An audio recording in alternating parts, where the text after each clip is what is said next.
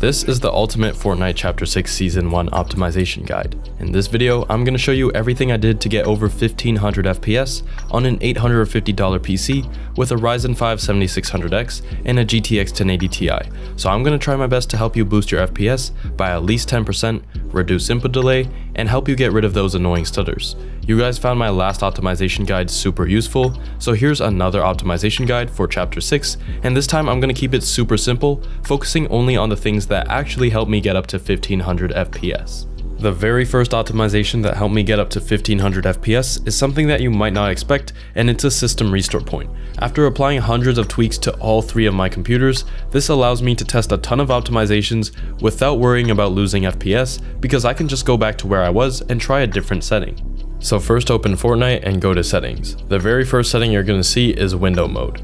Full screen is great for maxing out your FPS and reducing your input delay, but windowed full screen gives me the best 1% lows, resulting in a much smoother overall experience.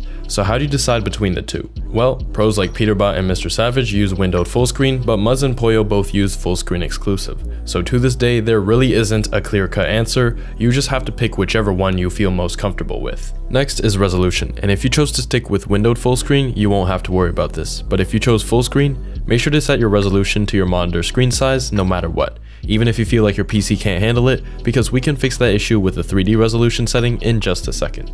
Next is VSync. A lot of casual players will have this on because screen tearing can be pretty bad at times, but it significantly increases the latency between the frame rendering and you actually seeing the frame. So to get both less latency and less screen tearing, we're going to leave it off and use the next setting just underneath to help fix those screen tears without impacting latency.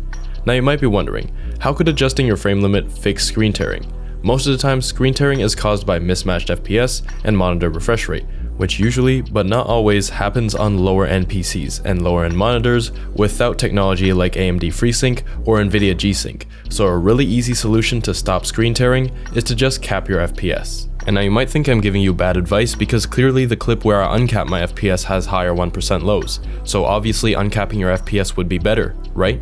Well, having uncapped FPS above your monitor's refresh rate simply just creates more frames for the GPU to render, building up a massive queue of frames to display, which means that the images you see on your monitor are delayed. When you have your FPS capped, it syncs much better with your monitor, giving you up to 10 milliseconds of better input delay. However, this is all pretty unimportant nowadays because we can eliminate the render queue whether your frames are capped or not when we use NVIDIA Reflex Low Latency, and we'll go much more in depth with that feature later in this video but uncapped versus capped has been an ongoing argument for years, and for a reason, so if you disagree with me, feel free to leave your FPS uncapped. Again, this is a guide to teach you and help you make decisions, not something to be fully replicated. Next is the rendering mode, which is a lot more complicated than it was a couple months ago, because Fortnite recently started to recommend that you switch from performance mode to DirectX 12 to eliminate stutters, which is true, but they forgot to mention several massive problems with the DX12 API. First off, the massive difference in render times compared to performance mode, even with DX12 lowest settings, just make the game absolutely unplayable, especially in build mode. I genuinely could not name a single pro player that plays on DX12 for this exact reason. Secondly, you'll see that the builds in DX12 are incredibly detailed and have a lot of crazy animations, and that's because DX12 meshes are linked to the view distance setting. In fact, a ton of different settings are linked to view distance. You can even see a difference with the hair physics. This means that if you want far view distance, you're forced to turn on high meshes, and if you want low meshes, you can't have far view distance. And on top of that, you'll get a pretty noticeable drop in your FPS lows. So unless your stutters are really that bad, I would recommend performance mode over DX12 pretty much every time, even though Fortnite themselves will disagree with me. For these next 5 graphic settings, you can do whatever you want and still get the same frame rate and latency, they just change how your game and menu look. In graphics quality, the 3D resolution is mainly based on preference. If you need some more FPS, you can drop it down to 70, 60, or 50, but be careful because at a certain point, it has absolutely no effect on your game apart from making things impossible to see. Every other setting should be kept on low apart from view distance, where the lowest I would go is medium, but personally I leave it on far to see items from further away. For the low mesh versus high mesh argument, I had a phase where I really liked high meshes because you can see through fully built pieces, but it does affect your FPS and the animations can often be distracting, so right now I would personally choose low meshes. And then for report performance stats, it does have a slight performance hit, so you can turn that off too unless you need it. If you're on an AMD or Intel graphics card, you can skip to the next part of the video, but for NVIDIA users, there's one hidden in-game setting that we need to adjust for much better input latency. So go back into your settings, switch your rendering mode to DirectX 11, and restart your game so that we can get access to the DX11 settings. This is because the DX11 settings still impact performance mode, but you can't change these settings on performance mode. I know, it's really strange, but just go back into the settings and scroll down until you see NVIDIA Reflex. Without Reflex, normally the CPU queues frames for the GPU to render so that there's always a few frames ready to output to your monitor, but as you could probably guess, those frames in the render queue will be a bit delayed, so using NVIDIA Reflex on makes that render queue as small as possible. But as long as your computer is powerful enough, this will not affect your FPS at all and will only help you to get better responsiveness. If that works well for you, go ahead and set that to on plus boost, but if either of these settings are causing your game to perform poorly, you can switch it off. And that's it for the DX11 setting, so we can just go back to performance mode. For my AMD gamers, you guys have a similar feature to rival Nvidia Reflex, but instead of being built into Fortnite, it's in the AMD software. So just open up your AMD software, go into the gaming tab, then the graphics tab, and turn Radeon anti-lag on. It works best in GPU limited scenarios, so it will work great in Fortnite, but even better in a GPU intensive game like Rise of the Tomb Raider. But just like I said for the Nvidia viewers, test with it on and then off and see which feels best, because input delay reducers like these can sometimes cause FPS dips. Now before we get into the Windows optimizations, I'm going to show you very quickly how to debloat your PC, which is something I do after every Windows update, because debloating is one of, if not the best way to not only make your game perform better, but also make your computer more responsive in general. So to debloat your PC super fast without downloading anything, because nobody likes downloading random shit from YouTube videos, we're going to use the Chris Titus Tech script. So press your Windows key, type in PowerShell, and open it as administrator. Then copy and paste the script from the description into PowerShell and press enter. It will open up CTT, and for me, it opened up on my second monitor, so I'm just dragging it onto my main one so you can see what I'm doing.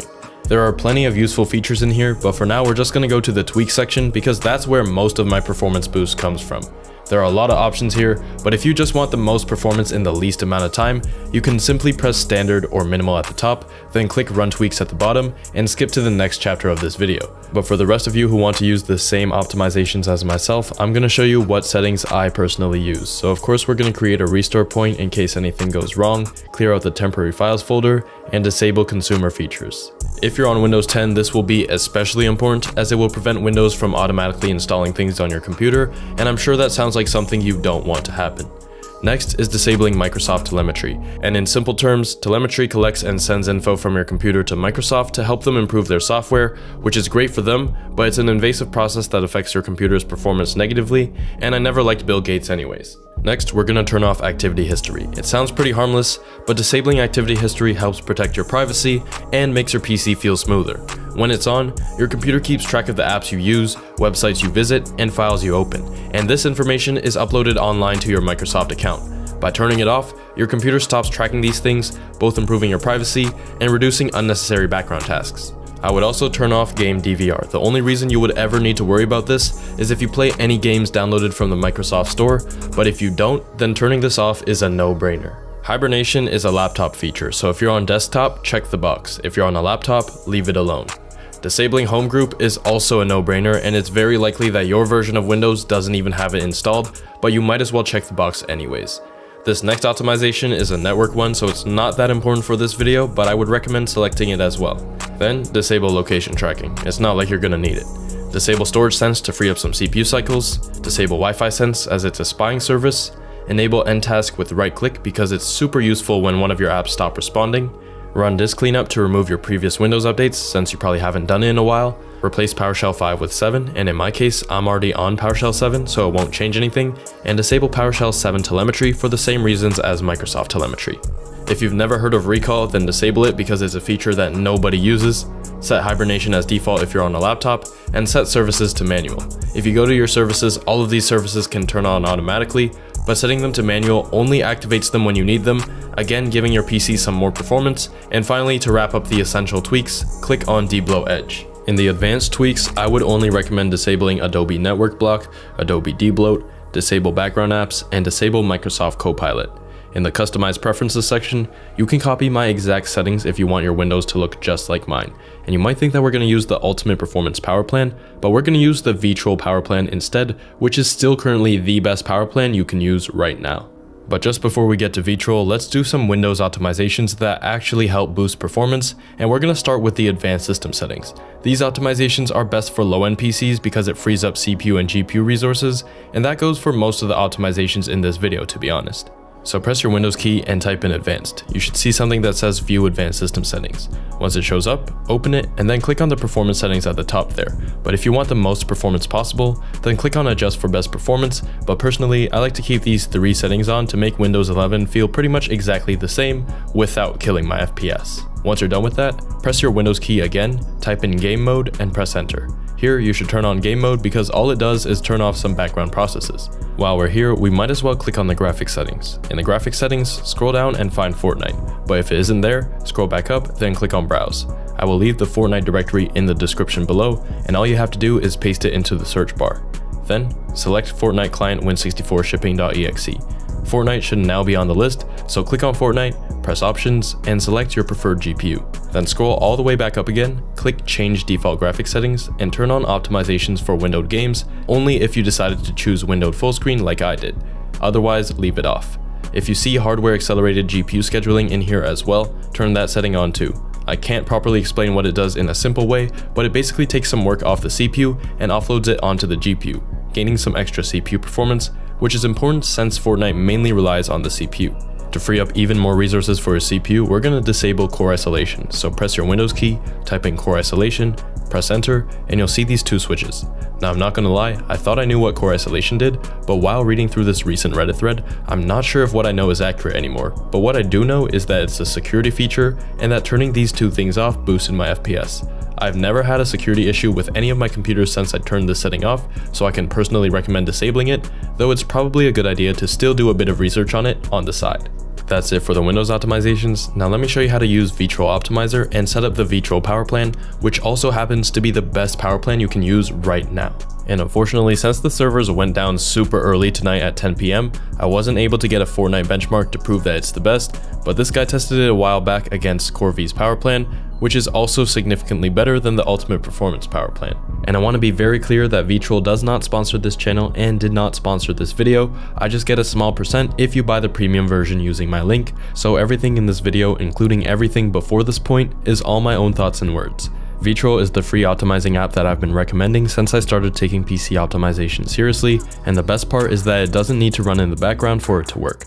This app, along with the power plan, was literally the secret sauce that I used to get 1500 FPS. So to download VTRL, all you need to do is go to the link in the description and sign in with either an email or Discord account. No matter which one you choose, it will bring you to the official Google website or official Discord website, so all of your accounts will be safe.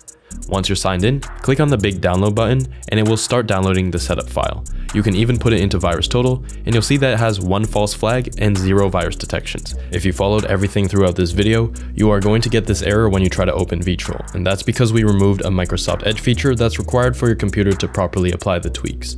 So I'm going to put the link to an official Microsoft website to help you reinstall only that part of Microsoft Edge. If you get any other type of error, I'll leave the link to the VTRL Discord server as well, because they have staff who are ready to help you.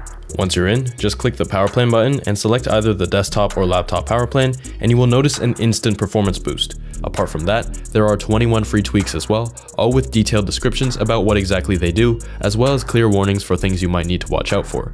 But if you don't really need the cleaning and debloating features, feel free to uninstall it from your computer or get the premium version because it includes every tweak you will ever need, and you'll never need to watch another optimization video ever again. Earlier I said that I was just going to teach you how I got to 1500 FPS, and that's all it took. But if you want to boost your FPS for free, watch this video next for some optimizations that I didn't talk about in this video.